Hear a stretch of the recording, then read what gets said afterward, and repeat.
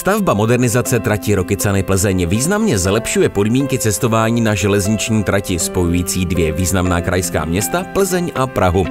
Je součástí páteřní transevropské dopravní sítě.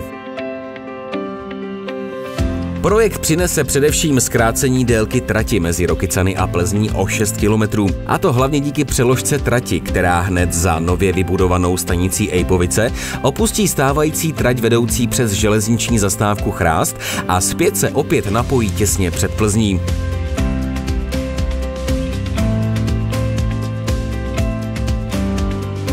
Současně také dojde ke zvýšení bezpečnosti železničního provozu a komfortu pro cestující.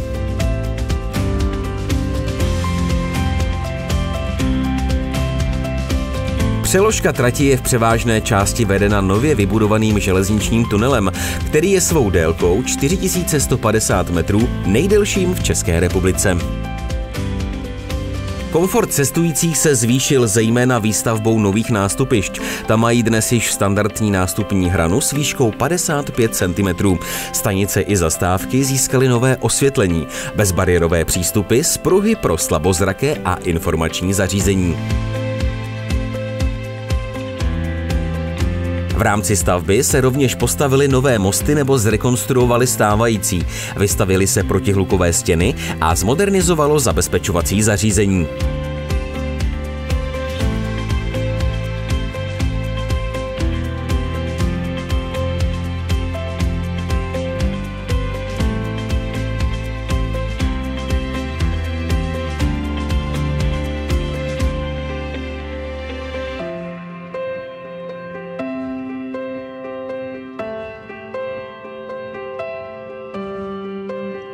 A teď se pojďme v rychlosti podívat, jak probíhala stavba nejdelšího tunelu v České republice.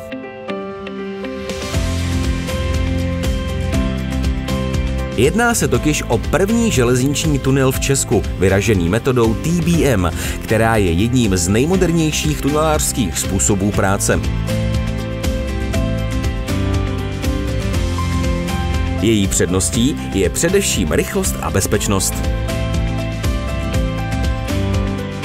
Tento unikátní razící štít Viktorie je mladší sestrou Tondy a Adély, kteří razili pokračování pražského metra. Štít měl průměr řezné hlavy téměř 10 metrů, délku 115 metrů a vážil přibližně 1800 tun.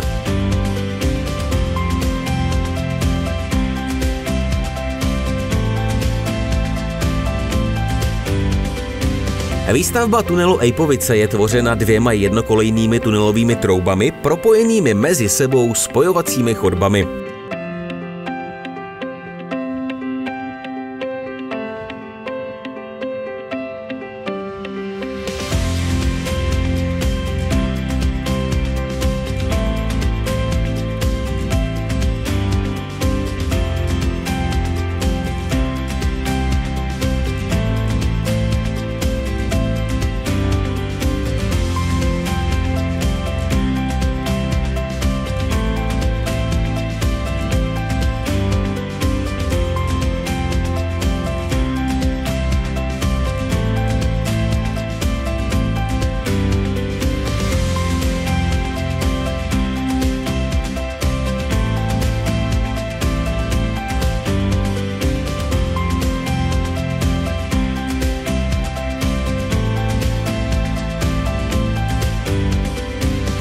Oproti standardnímu řešení na železnici bude kolejiště v tunelu osazeno systémem pevné jízdní dráhy, která přinese vyšší stabilitu koleje, snažší údržbu a zlepší přístupnost tunelu například pro integrovaný záchranný systém.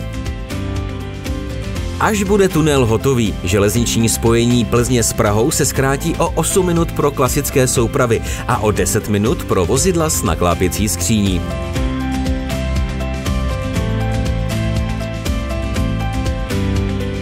9. prosince 2018 vstoupí v platnost nový železniční jízdní řád a právě v ten den začnou vlaky z Plzně do Prahy a v opačném směru jezdit nejdelším českým železničním tunelem.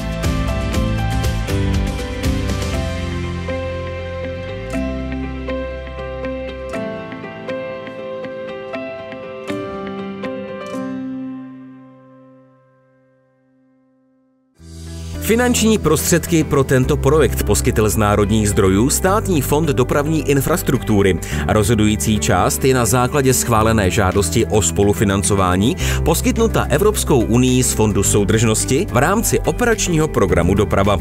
Předpokládaný příspěvek Evropské unie může dosáhnout až 52% celkových investičních nákladů.